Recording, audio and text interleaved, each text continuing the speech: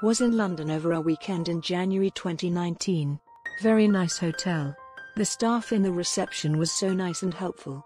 My room was with no window. The room was small, but clean and very comfy bed. Very good shower. Perfect for a short stay in London. To have power in the room, we needed to put the card in the power system. To find the power system they made a light around the spot where you insert the card, so it backslash is easily found in the dark. With the card in the power system, the air conditioning will automatically start. Stayed in room 507. Double room.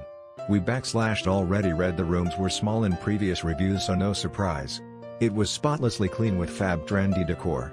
In room poster about operating mood lighting, gadgets, room facilities useful. It also displayed discounts for local Be prepared, businesses. the rooms are tiny, which is fine, but the fact you have to literally squeeze sideways at the end of the beds to get to the bathroom is unacceptable.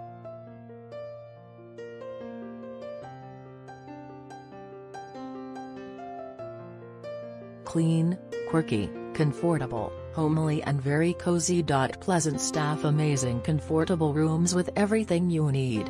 Loved the smart TV and mood lights. The bathroom was the same, clean and good powerful easy to use shower. Bedroom's a bit small but the comfort of the rooms trumps that. Would be even better if there were tea and coffee making facilities on each floor like the nearby Cubic Hotel.